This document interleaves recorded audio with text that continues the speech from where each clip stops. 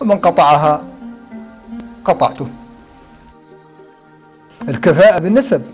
لا أصل لها في كتاب الله ولا في سنة محمد عليه الصلاة والسلام. لا وجود للذين قالوا الكفاءة بالنسب واسم الشاه. لا وجود له. أحد قال عن ذي الكفاءة انخطبت مثلا منتو أو من تختو وقال هذا ما هو نسيب؟ في كفاءة بالنسب. نقولوا لا عاد فيه نص يؤخرون إليه الحمد لله الذي لم يتخذ ولدا ولم يكن له شريك في الملك. ولم يكن له ولي من الذل والله أكبر كبيرا. والحمد لله كثيرا. وسبحان الله بكرة وأصيلا. اللهم صل على محمد وعلى آل محمد كما صليت على إبراهيم. اللهم بارك على محمد وعلى آل محمد كما باركت على إبراهيم وعلى آل إبراهيم إنك حميد مجيد. وقفنا في الحلقة الماضية عند كنا تحدثنا بإيجاز عن الصلاة. انطلاقا من قوله تعالى حافظوا على الصلوات والصلاة الوسطى وقوموا لله قانتين. وأشرنا إلى أنهم استغربنا على أن أهل موريتانيا كثير منهم ما يصلي الظهر مع ثنتين ونص استغربنا بعض هذا لذا رأينا مازلنا مستغربين لذا وطرحنا جملة من الإشكالات ومن التساؤلات. وقلنا ومن هنا سنبدأ على أن على أن المصلي على أنه أولا. لا جدال على على أن المبادرة إلى الطاعات مطلوبة وعلى أنه جاء في صحيح مسلم والبخاري من حديث ابن مسعود. سود الرسول صلى الله عليه وسلم أي الأعمال أحب إلى الله. هم الصحابة لو الفاضل قال الصلاة في وقتها. الرسول صلى الله عليه وسلم سود ابن مسعود عن أي الأعمال أفضل؟ قال الصلاة في وقتها. قال ثم أي؟ قال بالوالدين. قلت ثم أي؟ قال الجهاد في سبيل الله. الشاهد فيه صلاة لوقتها. وفي مسلم وغيره من حديث أبي ذر. أبي ذر قال قال الله عليه وسلم كيف أنت؟ درت سيعود حالك. إذا كان عليك أمراء يميتون الصلاة. يعني يؤخرون الصلاة عن وقتها. قال قلت ما تأمرني؟ قال صلي الصلاة لوقتها. أراك إذا جئت لكل ولدات ولا لكل حكام صلي معهم فهي لك نافلة.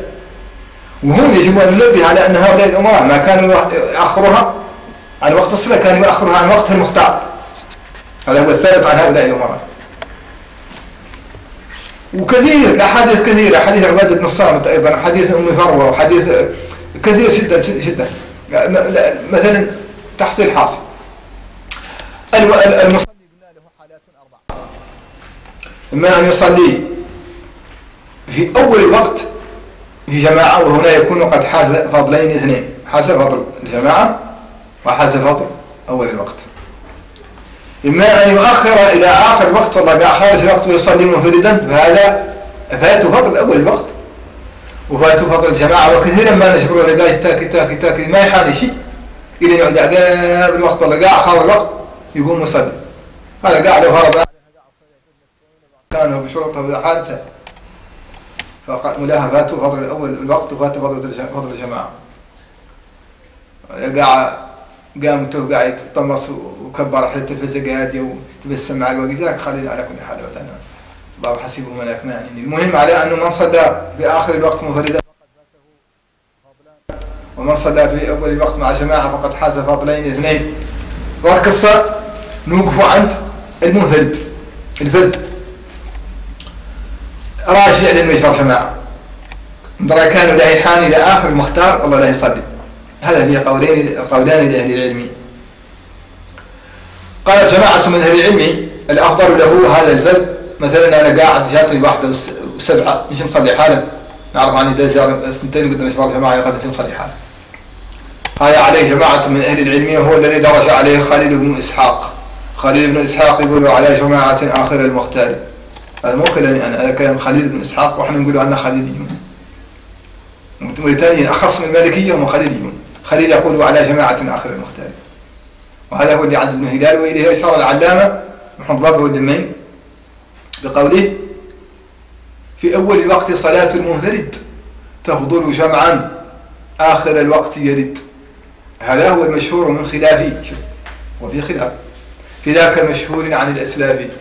وابن هلال في النوازل ذكر ذاك يرى ذلك من فيه نظر. نعم. القول الثاني على أن انتظار الجماعة المتيقنة لآخر المختار. ما حد يمشي لبعيد. على أنه أفضل بالنسبة للفذ هذا هو الذي أشار إليه أيضا الشيخ محمد علي بن زياد رحمة الله عليه فقال الفذ أفضل أن يؤخر راشيا لجماعة في آخر المختار هذا الذي قد عضدوا بالنقل وهو الواري. يا ليت الشعري الذي تبع الإمام وهنا يستدرك على خليل.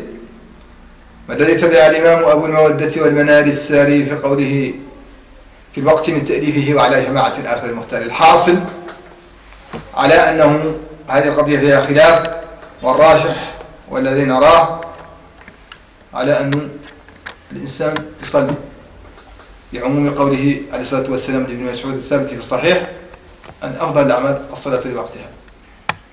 ثم إن هنا تهاد قاع مشكلة مطرح ثم هذا هذا هذا القاعد اللي تم قاعد انت سنتين ونص حد سنتين حد انه يأذن. والظهر في المنشوط يجب أن يعلم؟ على أنه مقطع قاعد سنتين في حياته. الظهر في مدينة المنشوط يمشي من الواحدة أقل 12 دقيقة.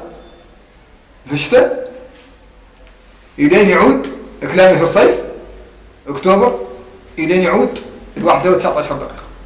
يمشي لي الواحدة و19 دقيقة. يقوم راجع راجع إلين يعود الواحدة قبل 12 دقيقة ما رقدتها بعد سنتين معناها أصلا قاعد الإشكال قاعد يطمن ذا من ذا كان قاعد الناس اللي تأذن كانت تأذن قاعد في الوقت. يجيها من الفصول قاعد كانت تأذن في الوقت. أنا لا أجزم ولا أفتي. فيها دوائر معنية بهذا في وزارة وفي ديوان فتوى وفي قاعد الناس كل حد قاعد يفتي راسه. لكن يجب بعد أن حد يتأكد من ذاك حسما لعل يعود قاعد لعل قاعد يعود يدخل في الوقت اللي قاعد الأذان فيه منه. هذا الاذان راه ما هو قاعد متوصل لكن يقوم لا لا لا. الاذان روايته مضبوطة بالضوابط الشرعية. آه اذا أعود فأقول على أن معطيات الفلك آه متوفرة ومتاحة وكما أنه لا يماري أحد ولا يتمارى اثنان بأن بين بوتليميت ونواكشوط 153 كيلو. وبين الرسل والنواكشوط 203 كيلو. هذه معطيات علمية دقيقة توصلنا إليها عبر عندنا شيء قياس المكان كذلك عندنا شيء قياس الزمان. وأنا متأسف على أن خالق من الناس اللي يراقب الوقت في رمضان. رمضان يراقب وقت الفطور وحده أنا أعيذكم أيها الإخوة المسلمون المشاهدون الكرام أنكم تعودوا ملوك الناس اللي يراقبوا الوقت لا تقول الفطور راقبوه بهم الله اللي راعوا التمر وراعوا الزريق.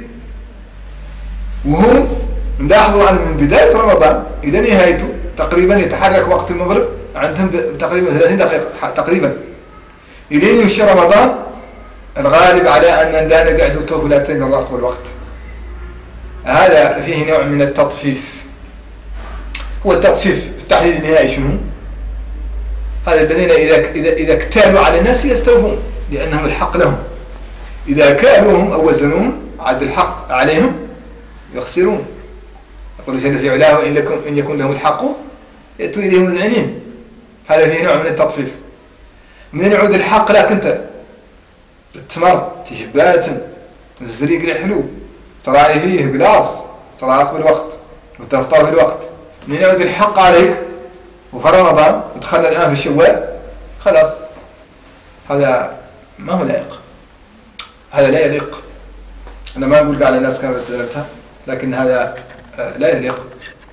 لأنه الحق فيه نوع من التطفيف كما قلت ولأن الصلة قضيتها خطيرة جدا ولأن هي أهم وهذا معروف عند السلف نصوص الكتاب والسنة والدولة العمرية. عمر بن الخطاب رضوان الله عليه الولايات عنده عادة ينقزهم إلا على الصلاة. إذا بلغه على أن بعض الولايات في آخر الصلاة والله على أنه صلاته ما هي مربوطة ينقز ومشى لهم تعميم. تعميم. الإدارة العمرية تقوم على الصلاة ربنا اغفر لنا ولإخواننا الذين سبقونا بالإيمان ولا تجعل في قلوبنا غلا للذين آمنوا. ربنا إنك رؤوف رحيم. يقول ربنا جل في علاه أنا الرحمن خلقت الرحم وشققت لها من اسمي فمن وصلها وصلته ومن قطعها قطعته.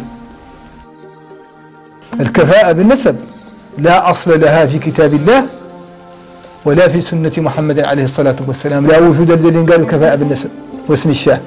لا وجود له. أحد قال عن ذي الكفاءة. من خطوة مثلا منتو أو من تختو وقال هذا ما هو نسيب في كفاءة بالنسب نقولوا له عاد فيه نص يؤخرون إليه يقول ربنا جل في